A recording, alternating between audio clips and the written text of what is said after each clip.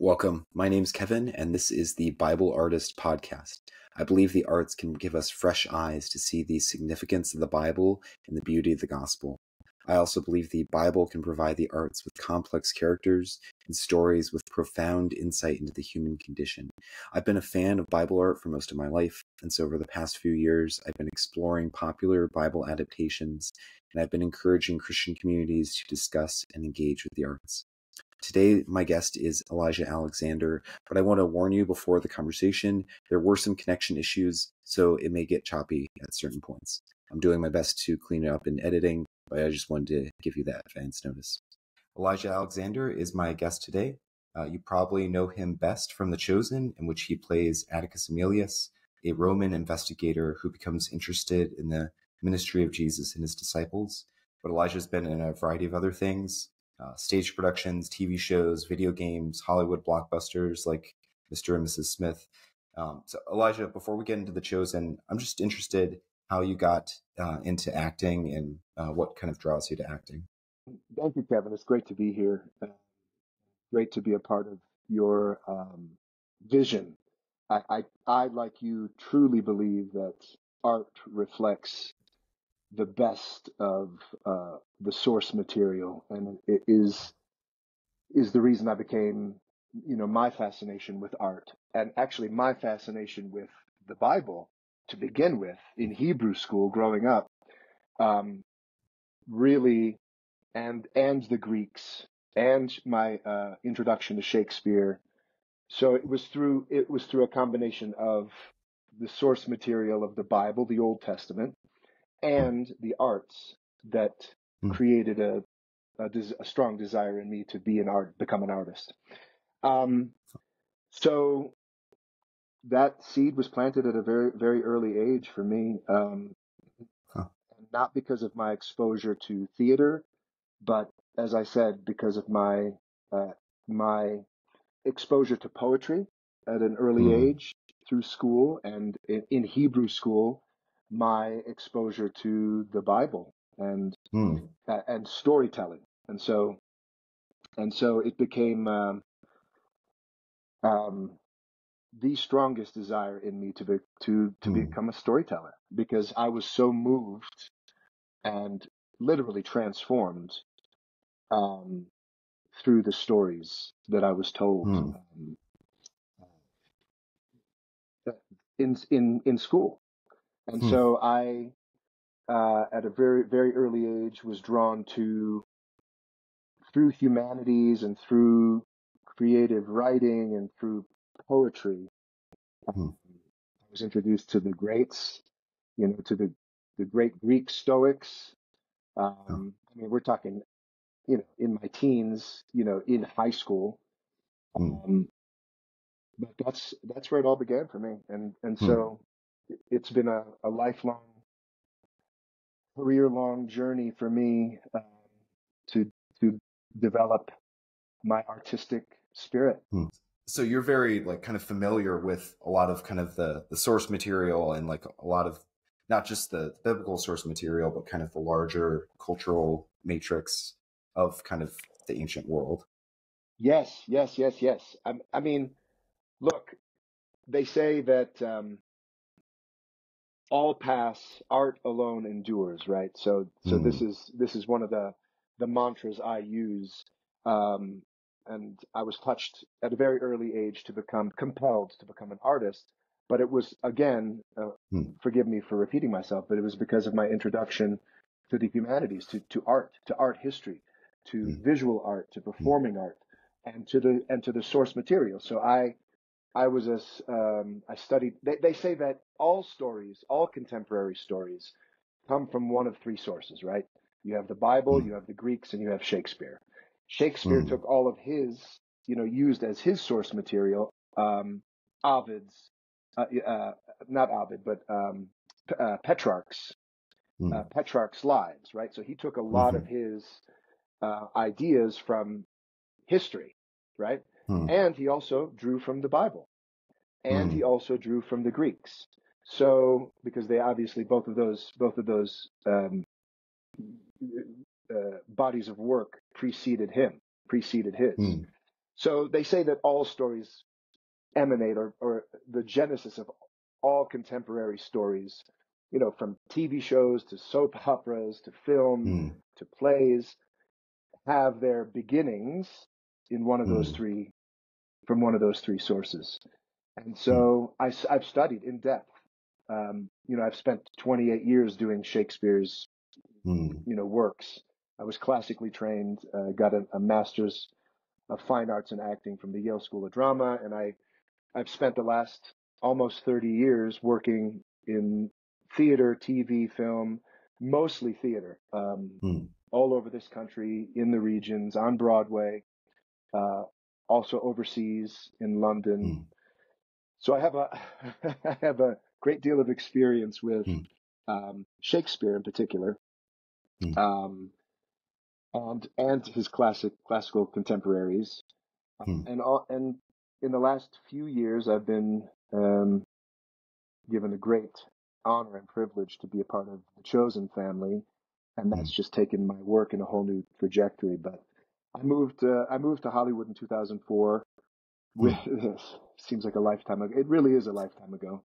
Uh, from New York, and did my first major motion picture. I did Mr. and Mrs. Smith, and then mm. I I was based in L.A. and it all it all sort of my my film and TV work sort of took off from there. Oh, oh, that's really cool. The Chosen isn't like your first uh, film that's based on uh, a biblical story. I saw it in your filmography, uh, Amazing Love, which looks like it's it's based on the story of Hosea. Yeah, you're, you're absolutely right, Kevin. So, yeah, so so when I was in Hebrew school, that really is the where the seed was planted. I I I in learning about Moses, I wanted to be Moses. You know, I wanted to Mm, be play these um, prophets um, and and you know inhabit their spirit and tell their stories. I mean, it was that was my introduction to drama. You know, was mm, through, as I said, through the Bible, and so it was a it was such a full circle sort of fulfillment when I got to play in 2011. I got to play Hosea in um, in a in a movie called Amazing Love, and I got to go back to my father's homeland, Israel, to shoot the mm, film. So it was a big deal. I have you know uh, I have a, a great deal of family in Israel, and so mm, so we were. Um, it was j- just such an amazing, monu- important um, event for me to go mm, back to my father's homeland with a creative project be able mm. to work there. We we shot the whole thing in Nazareth, um, Oh, and so I got to, and I'm you know walking in the sandals of uh, a minor prophet from the Old mm, Testament, Hosea, um, and it's a beautiful story, an amazing message, and mm, um, yeah, that actually that started my um, that was that was sort of my entrance into the the biblical uh, dramatic world. Um, mm, that was produced by Trinity Broadcasting, um, and and a lot of the actually the director on that film recommended me to Dallas for The Chosen. So I mean, it was a, it was a oh, the way that all aligned was kind of was kind of miraculous, but it had been huh, sort of in the works for for mm. more than a decade.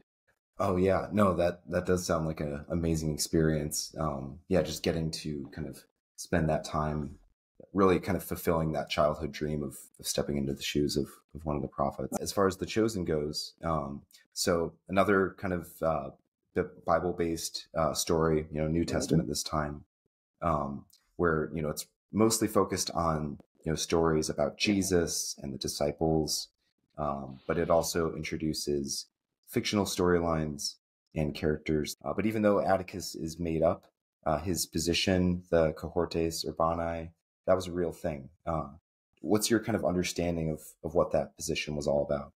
So yeah, so um, the cohortes urbanae were uh, part of an elite sort of task force um, uh, who answered directly to the emperor. So um, they had usually had military backgrounds and were well versed and, and well educated. Um, but basically, they're they're a you know they're an, an ancient um, the the ancient CIA. You know, would be the mm. the sort of the direct line in terms of uh, contemporary. They were part of a. They were detectives. They were mm. part of an elite detective task force, and um, they did the emperor's work. Mm. And so, um, yes, the the title was is historically accurate, but the character is not. So the character's probably based on. Um, I mean, it's obviously uh, a fictional character, but based on characters who actually could have yeah. and did walk the earth and and um, mm. and and fulfill these roles. So, and as an actor, it's a it's a, a dream because mm. I'm not beholden to to um, literal translation, right? So mm. I'm not it, you know taken from scripture. Atticus is is uh, born of the imagination of the writers, and then mm. um, in my hands, you know, I get to use my imagine, imagination too, and to create uh, a fully fleshed, uh, complicated character. So it's mm. it's an it really is an actor's dream, and mm. you know, Atticus is because of his role, he's a naturally he has to be a naturally curious um, observer, uh, mm. and he's got a so he's you know very, very sensually aware. Mm.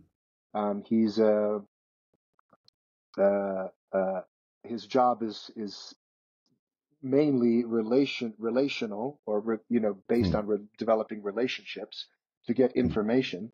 So he's got his fingers on the pulse of what's happening. He's out there hmm. in the field. He's a field specialist, right? So he's talking mm. to people, gathering information, gathering intel, and using his influence uh, to sway opinion, to mm. um, to further the agenda of the empire. Mm. Yeah. So uh, it's been a it's been a, an absolute dream. It's a it's a mm. I've always been fascinated. Yeah, I mean I've always been fascinated with um, that world, mm. and so it's also a kind of a dream to play a detective, to play uh, um, because I've always been drawn to the, to those stories as well in mm. in film in particular, and the world of undercover um, uh, spies and the intrigue and the mystery involved and the, the danger. It's mm. always been very uh, exciting to me. So to be mm. able to play the ancient, you know, 40 AD version of a mm. spy or a detective is is actually really really thrilling for me and uh, uh, really exciting. And the, and the hmm. fact that I'm a part of this monumental pro- project that is changing so many lives and influencing so mm. many lives um, is is just my deepest and greatest honor. Mm. Yeah. So you were talking earlier about kind of the the complexities of uh, your character, and uh, one of the things that I liked about season three is we kind of started to see a little bit more of of those uh, things coming to the surface. So you know we see um, he doesn't uh, rat mm. out Simon Z uh, or like kind of continue to try to get him. Uh, he actually warns him about uh, the zealots that are after him. Uh, he he keeps Quintus from wiping out the tent city. Yep. He kind of uses some of his uh, relational wisdom with that. he kind of minimizes the the danger of Jesus when he's reporting to Pilate. so as the show continues, are we gonna get to see a little bit more of kind of what's motivating your character and maybe either backstory or just um, kind of what he's he's after, I guess. Uh, great question and great insight, and yeah, that's one of the the most exciting uh, pieces of this of the character development for me is that there he's not a straightforward guy. I mean, Atticus is an instrument of the empire, right? But he at at his baseline, um, his mo is creating the conditions for peace. He's a hmm. peacemaker, right? He's not mm. a um, in this isn't and this isn't in the in the um, in the uh, the episodes. It's in the, in the storytelling as we're doing it, but it's part of my backstory. You know, I, I feel like Atticus has a military background. He's see, been in, you know, he's fought in battles, in wars. He's seen bloodshed. He's seen violence. He's dealt with it, and he now he's more of a diplomat. So he's mm-hmm. really uh, out there to create, like I said, to create the conditions for peace. He wants to avoid hmm. civil unrest, civil war. He wants to to appease all the factions, the religious, hmm. the Sanhedrin, the religious, the Jewish religious f- faction. He wants to to um, contain what what he sees as uh, a potentially threatening uh, um,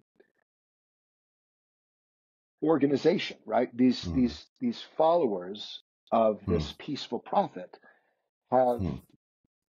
am, amassed in number, right? They're they're hmm. they're growing in number, and so he he's just concerned. Atticus is concerned about uh, the potential for that, for an uprising, for hmm. civil war, but ultimately hmm. he's he's not looking to.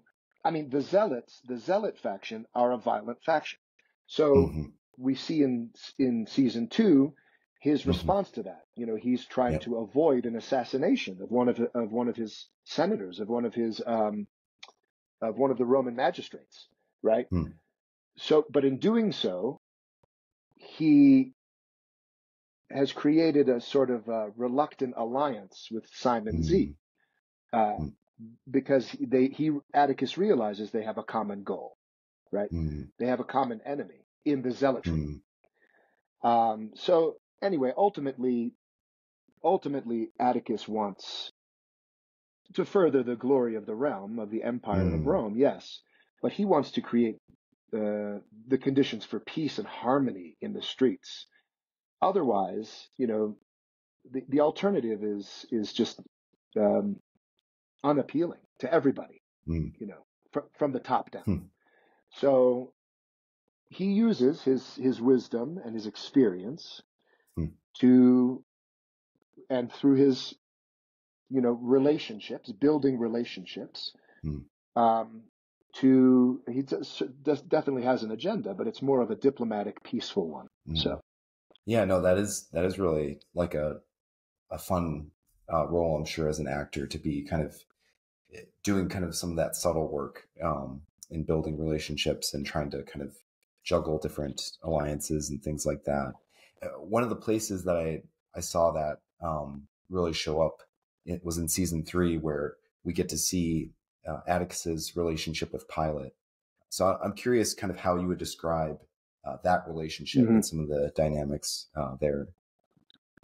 It's interesting. I'm I'm learning a lot about um, you know when you're working on certain personal development and uh, looking to master uh, a particular skill or a particular uh, uh, trade or you know they all the all the greats say study find a teacher then find a, a partner someone who you can practice with find a hmm. teacher that you can study under apprentice hmm. with who knows more than you do and ha- who has hmm. mastered something you want to master then find a sparring partner right someone you you can practice with and then find someone to teach, find a student. And so I approach, I, I bring that up because that's a part of how I approach my life and my the the craft and the skill of acting. That's how I've always approached it. And when I want to learn something new, when I want to master something, um, and that's an ongoing process, of course. But I also apply that to the roles I take on. And so Atticus is prime example. I mean, he's hmm. he's you know in a in a place where he's studied under the best. You know, Mhm. in in my in my imagination when I'm creating his backstory, studied with the best. I Mhm. mean, you know, think of Marcus Aurelius. Marcus Aurelius is one of my personal heroes, Mm. and a, a lot of his contemporaries. You know, the, the Stoics, Mm. Epictetus, and um, Aristotle and Seneca. So these guys way ahead of their time. And Marcus Aurelius, in particular, you know, a great emperor, a great leader, but a Mm. virtuous, lived a virtuous, morally, morally, um, morally correct or Mm. morally righteous life, and he Mhm. aspired um, toward virtue, virtue as the greatest um, uh, target, the greatest goal of Mm. life, the, the, the, the the meaning of life. Mm. And so, anyway, I, I'm forgive me for being long-winded, but but Atticus has had his teachers. He's put put all of this into practice, and now he finds certain um, certain characters, certain people that are uh, his students. And Pilate, I'm not going to call Pilate a student, but Atticus takes on the role of mentor with Pilate, Mm. Uh, advisor, counselor, Mhm. and so and so. I mean, it, it, it's it's just a, an amazing opportunity again to play a different to wear a different hat in a different relationship. You know, he has a different relationship uh, with Jesus. I mean, and we're seeing a relationship Mhm. built. You know, it's mostly uh, from what I hear and what I witness, Mhm. um, because I haven't had a lot of Atticus hasn't a lot had a lot of face to face time with Jesus, Hmm. but um, I've certainly met met with a lot of the and you know uh, communed with a lot of the Jewish religious authority. Mhm. Um, uh, a few of the disciples. There have been small interactions. I've gathered a lot of information. So there's there is um, material that's starting to build a relationship, right? Mm. With Pilate, here's an inexperienced young governor Mm. who is plays, as we all know, plays a very instrumental role in the life of Jesus, in the Mm. you know um, a- governmental role, Mhm. um, and he he comes to Atticus for uh, for support, for help, for Mm. for uh, for advice. Mm. So we're going to see more of that. We're going to see more of Mm. that, and and it's um, in terms of Atticus as mentor, advisor, counselor, uh, Mm. a father figure. I mean, Mm. that's just there naturally with the age difference. Hmm. Um, uh, Atticus is someone Pilate admires and respects, Hmm. and uh, listens to. So I've got Mm. I've got I've got his attention, I've got Hmm. his ear, and I've got his open heart. So Hmm. so it's uh, uh, you know there's th- th- that's why it's so like, and I love working with with the the actor. He's such a terrific terrific uh, young man, Hmm. um, and we have a, a natural rapport, which just helps Mm. with you know telling telling that story. Yeah, Hmm. yeah. So it's it's it's gonna be it's gonna get even more um, personal and uh, intimate in terms of Mm. a- and deeper in terms of that Hmm. relationship. yeah, as, as Jesus, you know, runs afoul of of Rome, or you know, and Pilate's put into the position of having to judge uh, Jesus, that may be a, a complicated uh, or challenging moment for for Atticus as well uh, because of that relationship. Yeah, it's Yeah. It's uh, and you know we see. Look, Atticus is uh, Atticus is a human being, and uh, he's been um, moved, let's Hmm. just say, by what he's seeing, w- w- what is happening, what he's Hmm. witnessed, and so um, it, it just sets the stage for uh, you know when the when the stakes become more intense um, and everyone is in crisis mode when it get when when a, when decisions have to be made we have enough uh, um, we have enough we have an, uh, enough knowledge of these characters Hmm. to understand that it costs Mm. everybody. You know, it Hmm. costs those people who are involved. Hmm. Look, Pilate Pilate is someone who's also very interested and very um, curious about what's happening. Mm. He takes a particular interest in Hmm. the Jewish culture. You know, Hmm. in in the culture that I mean, he's the Romans are occupying, right? They're occupying this land. They're they're they're um, uh, uh, colonialists, right? They're colonizing. Um, that's what they did. So Yeah. they're so, but but both Pilate and but both Pilate and Atticus have taken particular interest. I mean, it's like that, you know, the the old adage, you know, in order to, and, uh, I'm not even con- considering them an enemy, them the enemy, because they're not, but they are under our rule, right? Under Mhm. Roman rule, and so they're, and if you want to look at it technically, they are the they are the they're colonized. Yeah. So, but in order to rule, in order to rule appropriately and justly in in the from the perspective of the Roman Empire, you have to you have to um, get to a deep understanding of how these people think, how they work, what's important to them, right? Mm. And so, so both Pilate and Atticus have have an intimate, deep, uh, or are developing a deep understanding of of the culture of the people, in, in order to to create. I mean, I think I think ultimately Pilate wants the same thing. Mm. You know, Pilate wants peace as well. He doesn't Mm. want. I mean, he's he's governing. He's a governor. He wants to Yeah. keep his position, right? Mm. And if he's got if he's got a if he's overseeing a civil war, the emperor is going to replace him because that's not what the emperor wants. Mm. The emperor wants peaceful colonies right? Mm. as as they move through the world. You know, the sun Hmm.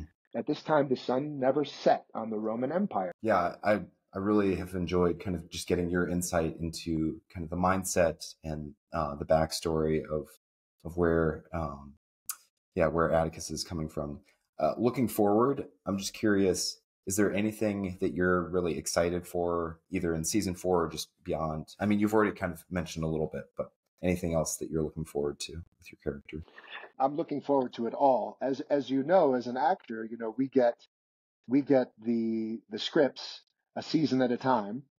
You know Mhm. the the creators of this show have have a long, you know, wide, long term vision, and they've had a trajectory of how this will unfold and be told through seven seasons. But Yep. as actors, we don't we don't we're not we're not privy to that information from the Mhm. get go. So we we get our storyline season by season, and um, I can tell you that. So, so I know very little actually. Actually, Mm. um, we don't.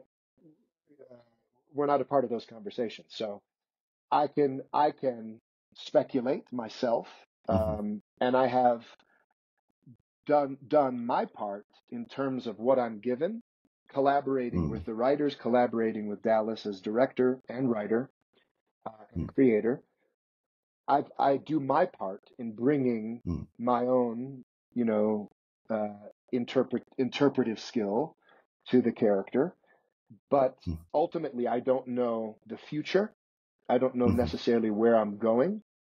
Um, But I do know I do know a little bit about where the chosen is going. I mean, we Mhm. all know how it ends, or or Yeah. how it how it begins, um, right? Um, Mhm. because there are several beginnings uh, in in uh, you know the story of Christ and um, Mhm. And the story that we're, we're all telling. Um, Mm. But I will tell you that each season, like season four, takes it is really next level. It really, Mm. in terms of not only in terms of the production to production values, um, the the stakes as as Mm. in the greatest story ever told, right? The stakes get higher Mm. as we get closer to the inevitable. Mm. But one of the many things this series does so well is it it really does chronologically create higher and greater stakes, become Mm. more intensified, uh, become, and that's part of what Jesus was dealing with, right? I mean, he was dealing Mm. with this culmination of attrition and challenge and difficulty Mm. um, as he was launched into the inevitable. And so, the, season four really takes it. It's mind blowing. I mean, we just Mm. we were just at the premiere last week, uh, and so we were in, in LA and we we saw the first two episodes, Mm. and it's astounding. Mm. It's astounding. Um, it just really takes it to a whole new. You just feel the tension building towards something, and the story the storytelling is so so detailed and so specific moment to moment. I mean, re- really uh, brilliantly done by the creators and the con- conceivers because because they had that long seven season vision. They were Mm. able to plant seeds in each scene, in each Mm. character's journey.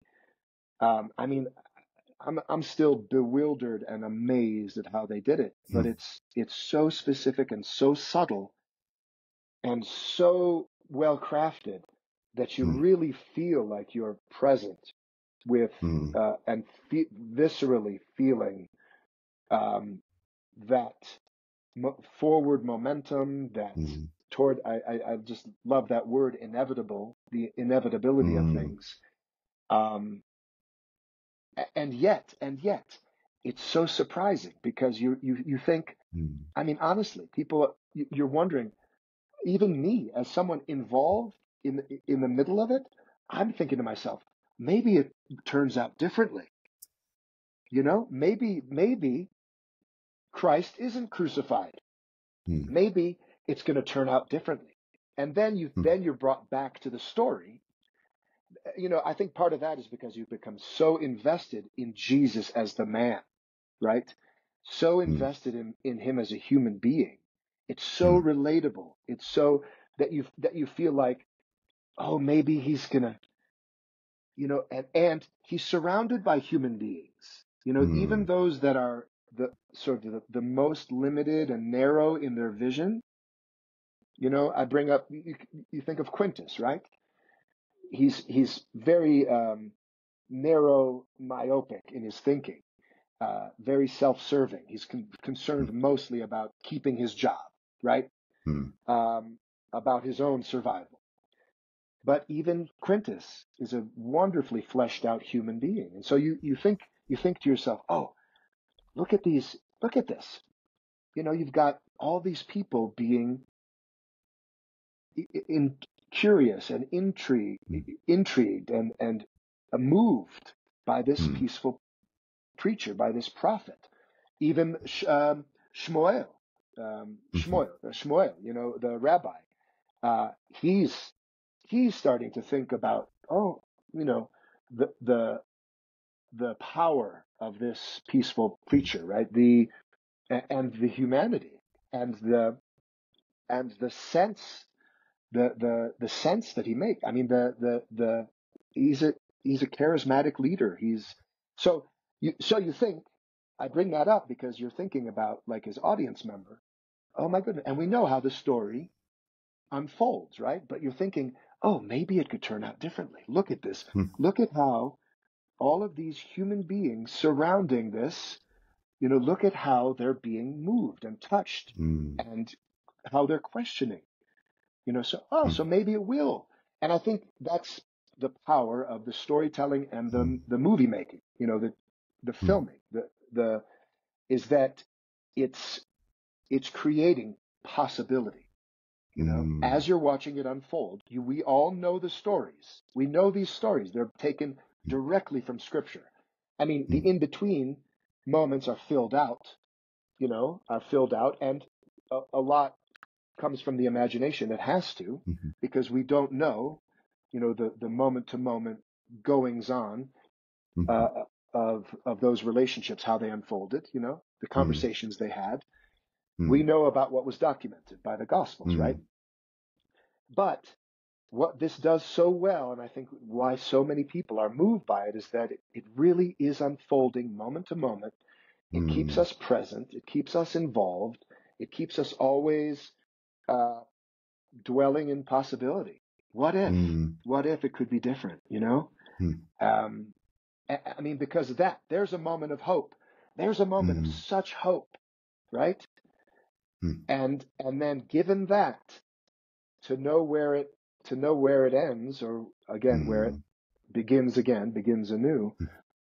is just it's it makes it an exciting, mm-hmm. exhilarating, surprising ride Mm. for everybody, and eh, eh, eh, mm. and also for I got to say for us us who are involved, I'll speak for myself, but for me involved, it's exciting to know where it's mm. going moment to moment, and it's good it's good that I don't know in mm-hmm. in a lot of ways because because you know I can see scene by scene what what um, where I fit in as Atticus, where I fit into the telling of the story and the function and the role I play.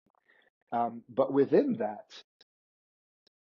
uh, there's a lot of room for my own surprise and uh, uh, excitement, and I think that's what makes it. I anyway, I could go on and on and on about this, but I think that's what makes it such an exciting first ever, once in a lifetime experience and event. This this this uh, this uh, more than production, this phenomenon of the chosen. Um, but I think at the heart of it, it's it's great, compelling storytelling, and it and I, I think one of the reasons it is so it is that is because it dwells in possibilities. It keeps it creates space for anything to happen, Hmm. given a story we all know.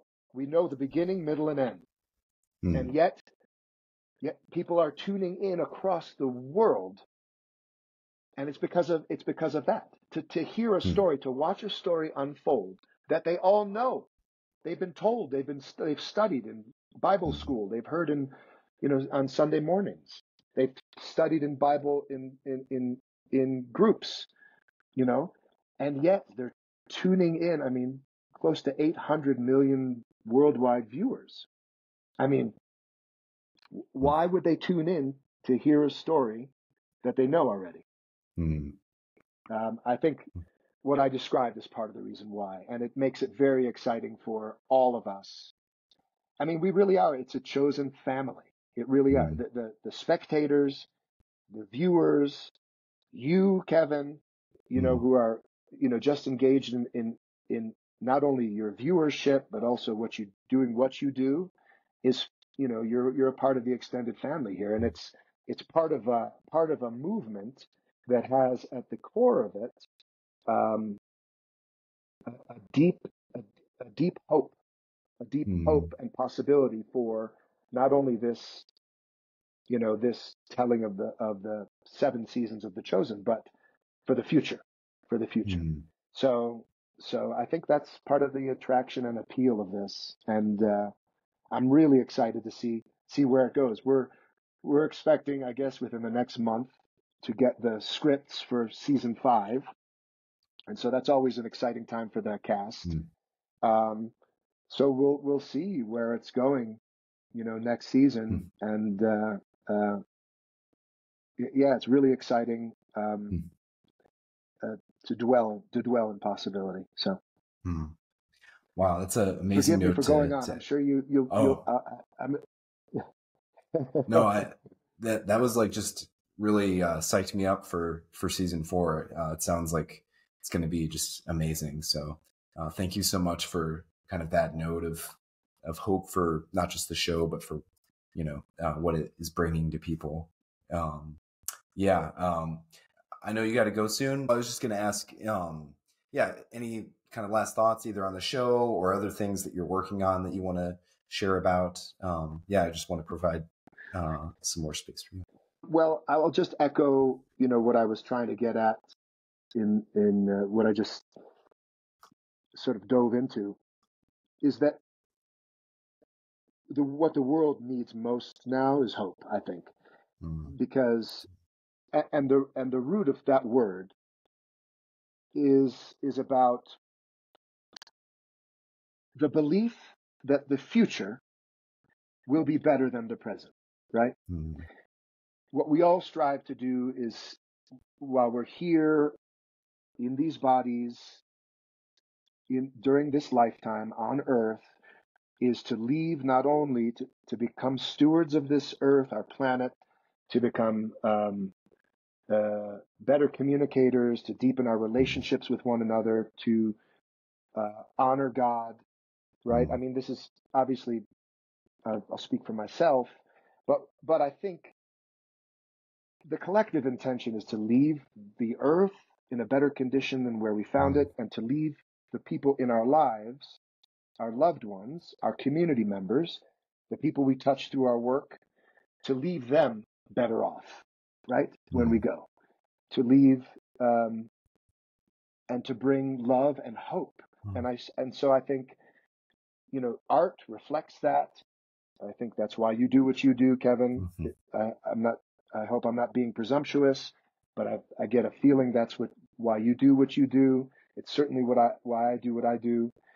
Um, to create the possibility for leaving this earth and leaving the people that we are fortunate enough, people whose lives we're fortunate enough to touch, leaving them better off when we leave. Mm. And I think art, I mean, when you're dealing with TV and film, you're dealing with the immortality in a way Mm. of art, right? Um, so I, I, I- I'm involved in many pro- projects right now. One of them, um, I'm actually writing one right now, which is all based based on all of the things we talked about. Um, it's about about Marc Chagall, actually the um, uh, painter who was um, rescued during World War II or just before, during the German occupation of France, rescued by um, Varian Fry, who led an organization. He's now one of the righteous among nations, but he, an American, um, went to France and decided he was, because of his love of art and artists and artistry, he decided it was his life's work to serve, to rescue as many artists from Europe before they were sent to concentration camps by Hitler and uh, and the Nazi regime, right? Who were in power at the time. So here's a man who risked risked his own life to uh, rescue artists. Um, so he ended up, he and his organization ended up rescuing over 2,000 artists before they and their families were sent to concentration camps. Um, many of them were Jews, but they weren't all uh, Jews. Um, among those people he rescued were Marc Chagall, uh, Hannah Arendt, uh, the philosopher and writer, and uh, Marcel Duchamp. Anyway, I've I've become fascinated these days with people who do things like that with their lives, risk their very life to save another soul. And so I've become, uh, that's going to be the focus of my next project. It's going to be a one man show. So I'm writing that now. I'm also involved in uh, the Mitzvah Project, which is a one man show educational program that I'm touring throughout the country and hopefully other other countries to come. But it, it is it's about uh, it takes place in the darkest days of the Holocaust. It's about uh, two lives colliding, intersecting in Auschwitz in the concentration camp, and so it's a program of social justice. It speaks about it asks big questions um, about why why do we demonize the other? Why do we discriminate against someone because of the color of their skin, their religion, uh, what they believe in, who they choose to love, how they identify. The Mitzvah Project has become so. Uh, so uh, during the pandemic, when the pandemic happened, I became a teacher. I taught high school, and through that work, got m- much more involved in working with young people. Then I got the opportunity to be a guest artist uh, with the Mitzvah Project. And so as of January 2023, I've been touring it all over the country, and it's become uh, sort of a, a main uh, part of my focus and inspired me to write my own show because I've seen I love the the the the uh, um, the connection that you have with a live public of young people. Um, the the program consists of three different parts. There's a there's a performative part for uh, that's about 20 minutes. Then there's a lecture portion, and then there's a Q and A, and it's it's literally changed my life. Uh, uh, uh, in particular, the, the, these question and answer sessions with the, this younger generation of of people um, who are dealing with challenges and obstacles and difficulties that I didn't have to at their age. Um, it's a whole new ballgame, you know, since the pandemic, and so to be able to create these spaces where we can have these really difficult, really important conversations with the, the generation of young people who are the ones who are going to change the world, the ones who are responsible for changing the world, a world which is very broken, a world which is in in disrepair and and and and, and hugely disconnected um, not only you know the, the, not only in terms of the people there's huge disconnect between people but also disconnect with nature and with mother nature and with our earth. Anyway i could go on and on but so this has become my life's work and so this is what i'm doing. And actually you can go to my website um, I, I can send you my website it's well it's www.elijahalexander.net and it's it has all the information of the you know the mitzvah projects that I'm doing, uh, all the you know upcoming stuff for the chosen that I'm involved in. Um, yeah, I'm going. I'm actually going in a couple days. I'll be in San Francisco. I'll, I'll be at a high school there in the Bay Area, and then I'll be back in Denver, Colorado, and ho- hopefully this spring I'll be on the East Coast in New York and uh, the Midwest in Chicago as well. So yeah, so that's that's basically what I'm what is occupying my time now in between the Mitzvah project and then we we um, we're sl- uh, slated to go into production for season five of The Chosen end of April. So yeah, until then I'm staying open to opportunities and um, but furthering the work that I'm most passionate about. Well, thank you so much, Elijah, for uh, joining us. I've yeah, I've really just been encouraged, and I feel like just some of your insights have have opened my mind about the the character and and also some of the just the implications of the show. So uh, I really appreciate uh, your work on the show, but also all the stuff that you're you're doing outside of it as well. So grateful for uh, for your presence and and all of your work. Um, yeah, thanks again uh, for joining us.